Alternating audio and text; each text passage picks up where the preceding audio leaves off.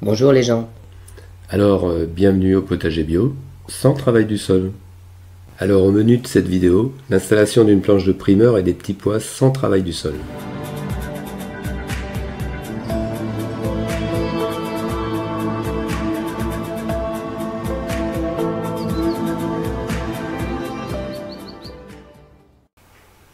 On est le 24 février et il faut commencer euh, par préparer cette planche où je vais semer et implanter donc des légumes primeurs. Alors la terre a été un peu réchauffée en disposant euh, des ardoises. En fait c'était fait pour euh, réveiller la vie biologique du sol. Maintenant il va falloir déblayer tout ça. Alors là j'ai arraché quelques touffes d'herbe.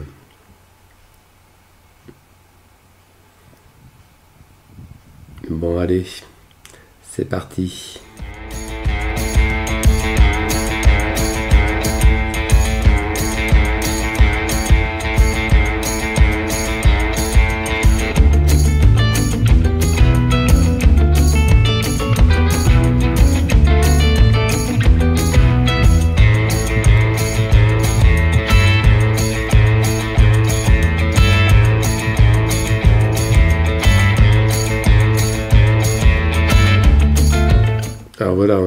Plus clair. Bon, il reste encore euh, quelques adventices à arracher. Et puis j'ai un reste de chou Mizuna. Sinon, euh, on voit que le paillage, euh, qui était en fait des feuilles mortes, hein, c'est assez bien décomposé. Bon, même s'il en reste encore un petit peu.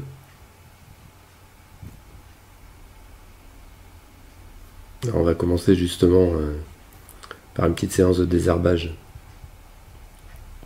Pour les choux Mizuna, je laisse une partie de la racine dans le sol. Je coupe un peu en dessous du collet euh, sécateur là, pour éviter que ça me gêne dans l'implantation des primeurs. Et puis lorsqu'il y a un petit peu d'herbe, eh bien en fait ça s'arrache facilement. Bon allez, faut pas traîner.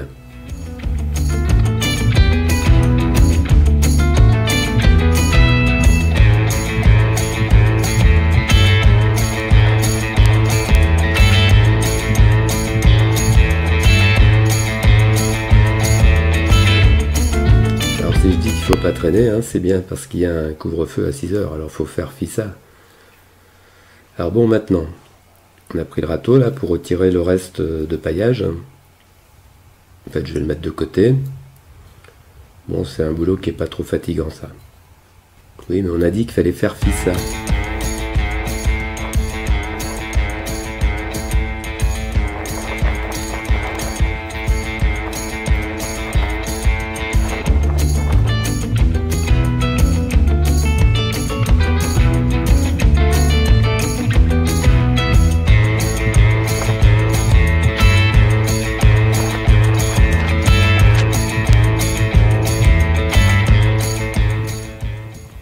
Je dis que cette planche est maintenant elle est propre hein, de mon point de vue.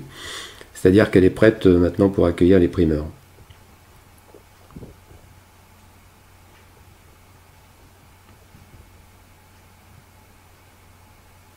Alors il reste un petit peu du, paillage de feuilles mortes hein, sur le. Je l'ai laissé un peu sur le côté là, il ne va pas me gêner. Alors bon, on va planter quelques laitues. Et puis là, c'est un semis de carottes que j'avais fait en janvier, qui est assez clairsemé.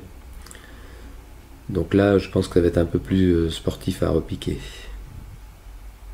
dans un premier temps, on repère euh, l'emplacement futur des tunnels. Donc voilà ce que ça va donner. Alors une partie seulement des primeurs sera euh, en fait sous tunnel.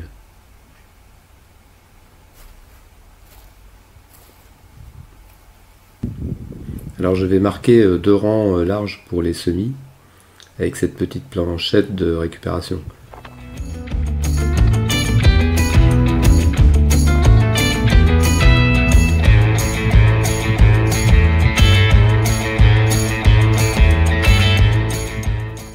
Alors maintenant, euh, on va semer des radis, des radis de 18 jours. Alors ce semoir est pratique pour voir la densité que l'on va semer c'est plus pratique qu'avec un sachet puisqu'en fait ce semoir il est transparent. Et donc c'est plus facile à aller voir, voir la densité.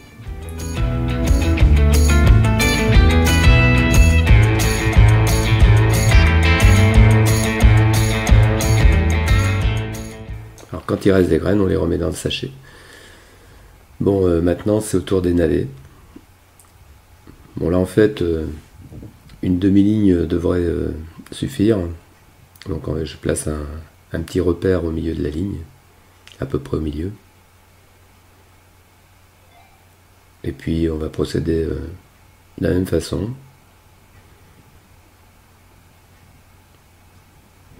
Alors c'est un peu lent. Hein. Le film là, euh, il est nettement plus lent. Bon, d'un autre côté, c'est un petit peu normal. Hein. Là, on est, euh, c'est du navet.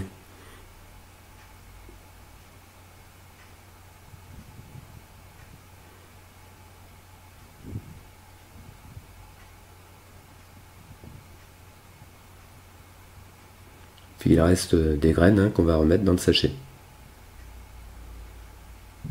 Bon, euh,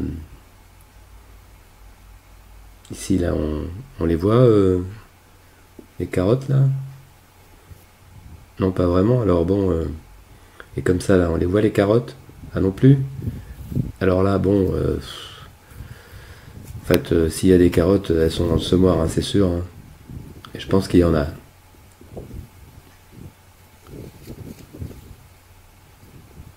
Bah, on les voit pas non plus d'ici, hein, les petits graines.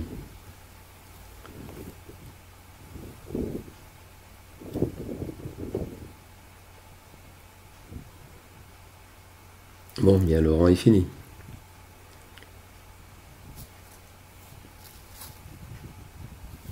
Et là, tu les vois là? Bon, allez, ça s'arrose. Donc on arrose modérément, mais directement euh, sur les graines, hein, ça va les plomber un peu. Et puis après, on va recouvrir les semis d'un peu de terreau et on arrosera encore une nouvelle fois. Alors là, c'est du terreau maison que j'ai fait à partir de compost. Hein. Le problème, c'est qu'il y a pas mal de graines dedans. je vais utiliser pour les radis parce que les radis euh, lèvent vite. Donc en fait, euh, on en met juste un peu pour recouvrir le rang. L'explication ici, c'est que comme on ne travaille pas le sol avant le semis, on limite euh, la levée de dormance des graines des adventices.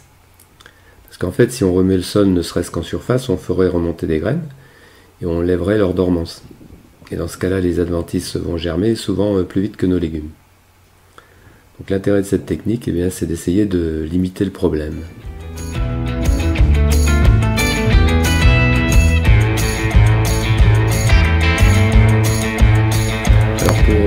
les carottes, là je vais mettre du terreau euh, du commerce que j'ai tamisé.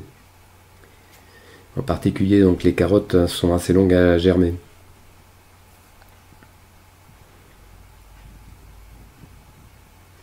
Bon, euh, sinon, euh, c'est la même technique. Hein.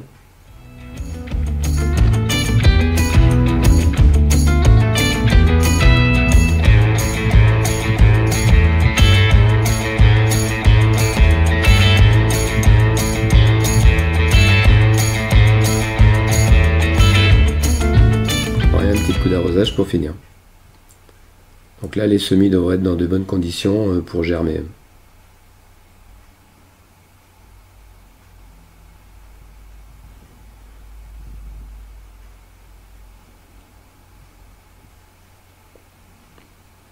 Alors maintenant, on va repiquer ces laitues. On va les repiquer de part et d'autre du rang euh, de radis que j'ai fait. Bon, les radis vont avoir le temps de produire avant que les laitues euh, prennent toute la place en principe. Donc là, c'est parti euh, pour le repiquage. Avec les bons outils. Allez, c'est parti.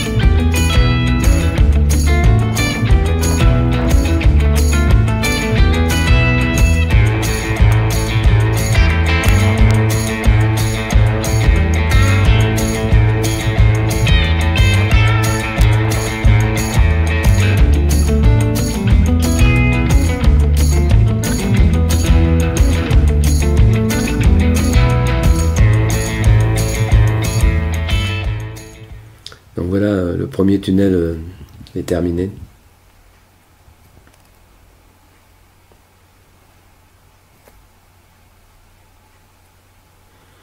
Alors on va passer au deuxième tunnel et on va commencer par euh, du repiquage de carottes sur admirant. Alors le repiquage de carottes c'est pas euh, une opération très courante, hein. donc c'est un peu une expérience. L'idée là ici c'est de découper avec la bêche euh, quatre bandes de semis à repiquer hein, qui sont matérialisées par des bouts de bambou là. Et ça c'est l'idée. Puis après avec la bêche, eh bien on va ouvrir un sillon pour essayer d'y déposer donc les bandes. Enfin voilà, c'est l'idée.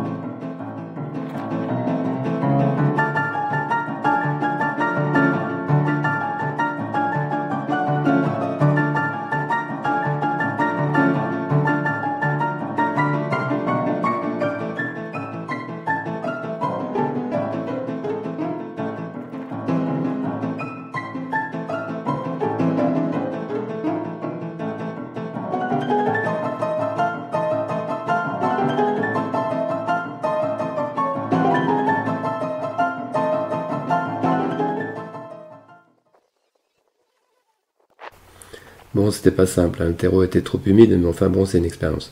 Alors maintenant, semis d'un rang de roquettes, là, ça va être beaucoup plus simple. Hein.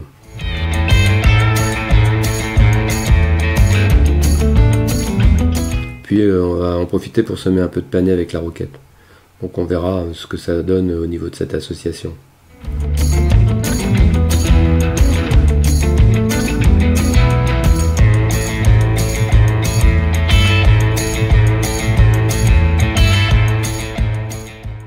Alors là, c'est fini pour le deuxième tunnel. Et sur l'espace qui reste, euh, en fait, je vais semer de rangs euh, sur la même mode, hein, des, rangs assez larges d'épinards. Et puis j'ai mis de côté euh, le reste de couverture végétale. Et maintenant, donc, on sème les épinards.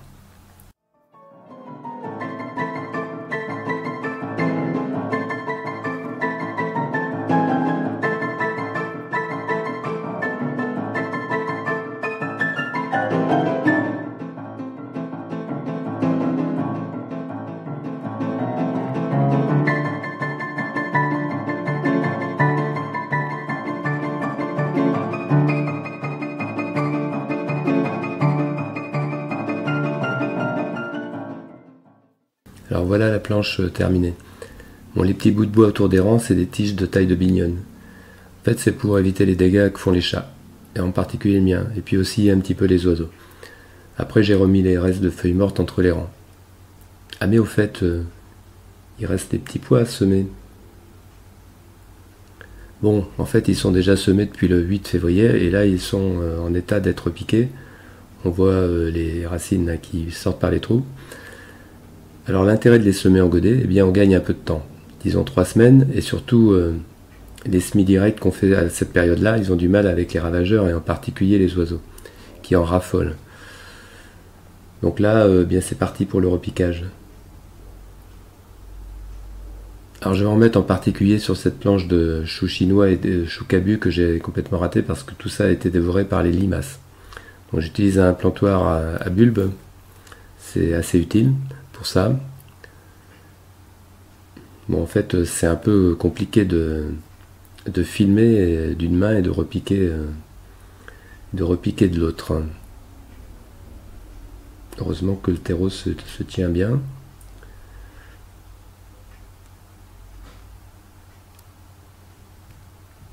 Bon, finalement, on va y arriver quand même.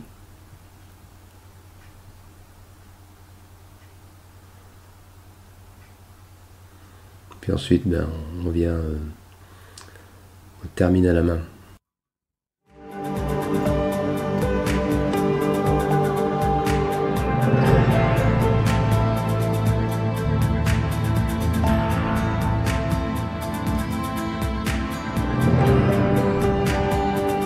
Je vais en repiquer aussi là sur cette demi-butte où j'avais les petits marrons et puis la tétragone.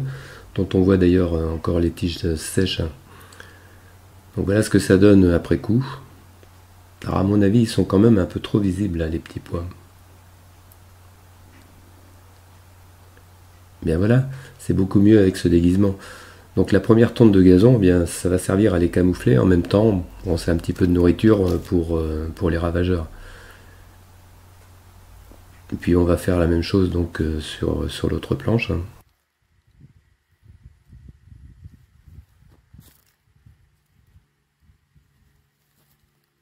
Seront moins visibles des oiseaux en plus. Et puis finalement, tant qu'on y est, on va aussi le faire sur la planche des primeurs. Comme ça, le sol ne reste pas nu, ça fait une diversion pour les limaces et les oiseaux. Et puis un petit peu d'azote pour booster les légumes parce que euh, finalement l'herbe ça va très vite se décomposer. Puis on peut de toute façon renouveler s'il y a besoin. Et puis avec cette épaisseur, les semis ne vont pas non plus, euh, ils vont pas être euh, gênés pour, pour lever. Hein. J'en ai pas mis assez pour ça.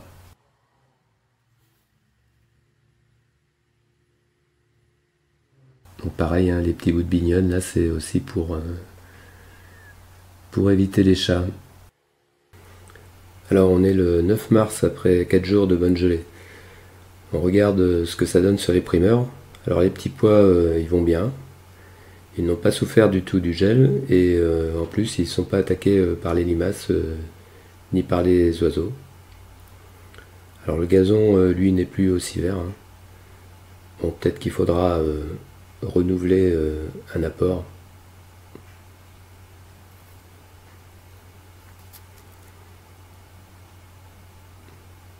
Ouais, ils sont tous euh, vraiment euh, bien repartis.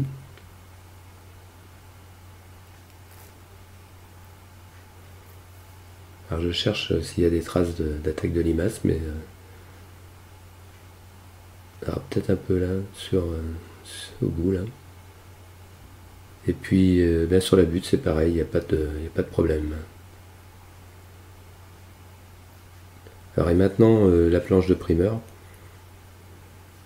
on voit que les radis euh, sont bien levés. Et puis euh, les laitues, eh manifestement, elles ont toutes repris. Alors à côté, euh, les navets lèvent aussi.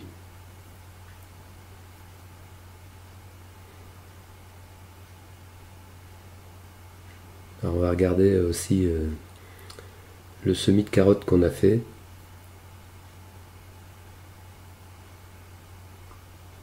on en voit quelques-unes, hein, mais elles sont encore vraiment petites.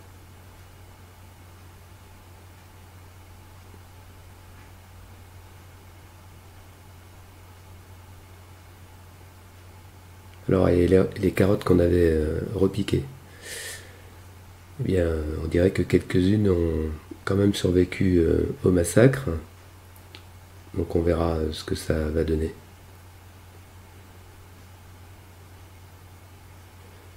Puis la roquette, eh bien, le rang de roquette, il est euh, très bien levé.